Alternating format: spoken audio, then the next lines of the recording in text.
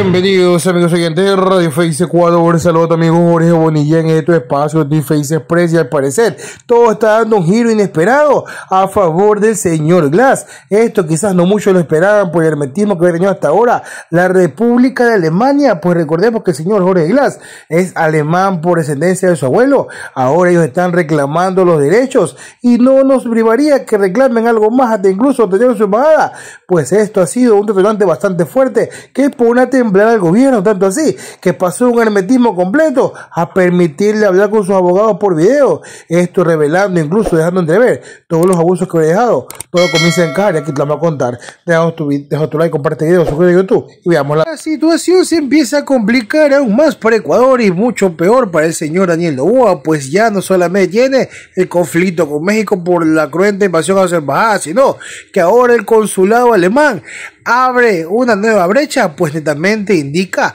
de que el ciudadano Jorge Glass, y esto ya era conocimiento de muchos, es ciudadano alemán por descendencia de su abuelo. Ellos exigen las garantías necesarias para que él pueda cumplir con todo lo que manda la ley y no como se le está privando actualmente.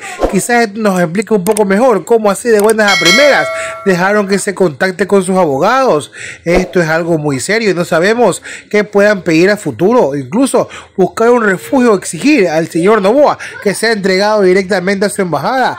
Veamos si esta vez el señor Novoa tiene los pantalones para pararse a una de las potencias del mundo y hacer lo mismo que hizo con México. Esperemos que no, porque netamente la respuesta alemana no va a ser para nada significativa como lo hizo México. Y si como pocos dirían o muchos a esta situación le está saliendo muchas más raíces complicadas que la que se podría esperar. No es lo mismo, perdónenme mis hermanos mexicanos, son un pueblo pacífico, un pueblo tranquilo que lo consideramos casi nuestra misma sangre. Y que esta ofensa que le ha hecho el señor Novoa no tiene nombre. Que tener que lidiar con una potencia como lo es la embajada alemana, los señores alemanes.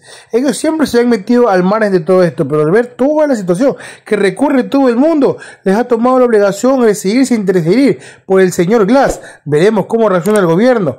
Créanme, esto se pone más complicado de lo que pensamos y seguiremos actualizando. No, tú le comparte video y nos vemos hasta la próxima.